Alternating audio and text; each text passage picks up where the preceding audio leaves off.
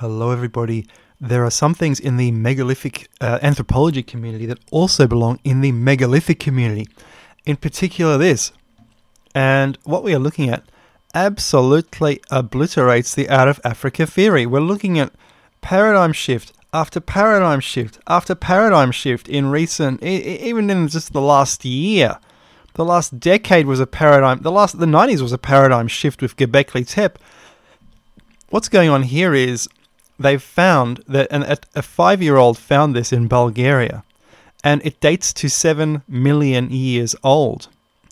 And what this is, this is a hominid, and the the root of the teeth are only what you find in hominids similar to Australopithecus, i.e., Lucy in Africa, which is three and a half million million years old.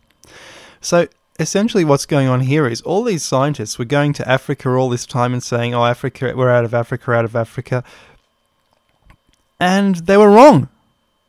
And this relates to the megalithic community as well, because we're saying that humans are millions of years old, and if this and they're saying now they're saying this is the branch this is this is the branch of humans branched out of this species or even a predecessor to this species so we're actually um, more than, than 7 million years old. And that means that Lucy is just is, is actually not our ancestor, is is just another sort of kind of chimp. And we are not related to Lucy. Because there was 3 million years nothing happening, and then you get to Lucy. And meanwhile, the earlier divergence into humans is here, 7 million years ago. So this is the new missing link, which has just been discovered. And this is absolutely unbelievable.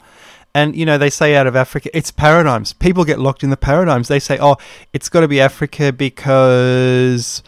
And then they make rationalizations, and they don't even know why they think they, they don't even know why it has to be out of Africa. They started looking in Africa in Olduvai Gorge in Tanzania, and it was such a huge hubbub in the 60s with Dr. Leakey and his son. They ran this museum in, in Tanzania, and there was an eroded riverbed, a lake bed, and they found this next to the lake, and they thought, "Wow, this is incredible, absolutely unbelievable."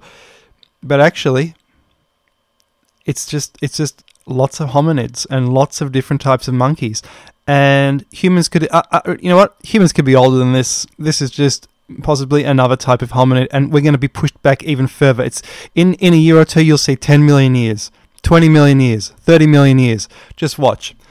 Thanks very much.